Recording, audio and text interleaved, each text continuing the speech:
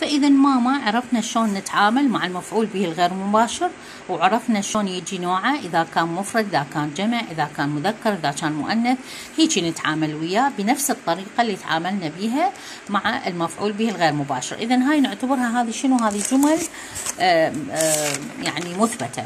هسه مثلا على سبيل المثال إذا أريد آخذ جمل منفية مثلا هنا أقول في حالة الأمر المنفي على سبيل المثال أقول ne écoute pas à la vendeuse.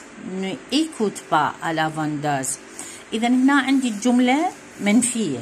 شلون عرفتها منفية؟ لأنه فعل الأمر مالتي منفي واقع بين ال ne وال pas لكن المفعول به المباشر مالتي هنا هو مفعول به غير مباشر اللي هو à la vendeuse ال vendeuse هي البائعة وأنا أعرف هذا حرف الجر à la يجيني مع المفرد المؤنث. حتى أقول لا تستمع إليها شو أقول؟ ال à la vendeuse بيش عوضتها؟ عوضتها بالوي. هو كل ماما موضوع التعويض هو معناها اختصار للجملة. يعني بدل ما أكرر أقول à la vendeuse يعني بدل ما أكرر الكلمة وأكرر حروف الجر مالتها بس مجرد أعوضها بضمير تعويضي حتى شنو يصير عندي؟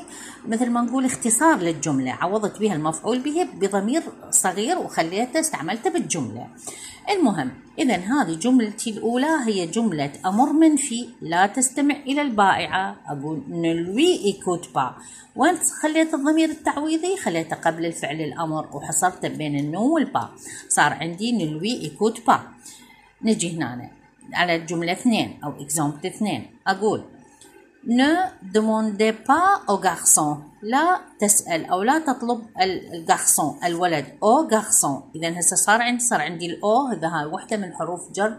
يعني وحدة مشتقات حرف الجر آ للمفرد المذكر. أقول ne demandez pas au garçon لا تطلب أو لا تسأل هذا الولد. أقول lui demande pas. وين خليت الأو garçon بيش عوضته؟ عوضته بالوي. وين صار مكانه؟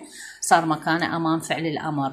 ليش خليته فعل الأم أمام فعل الأمر؟ لأنه عندي أنا أصلا جملة منفية. لأنه لازم يشترط علي أنه أخلي ضمير التعويضي قبل فعل الأمر وأحصره بين النو والبا آخر مثال عندي ne regardez pas aux étudiants. لا تنظر إلى الطلاب. ne regardez pas aux étudiants. aux étudiants الطلاب مسبوقة بحرف الجر أو هنا للجمع حتى أقول لا تنظر إليهم بدل ما أكرر أوز اتيديون راح أعوضهم بال leur وين راح أخلي مكانهم؟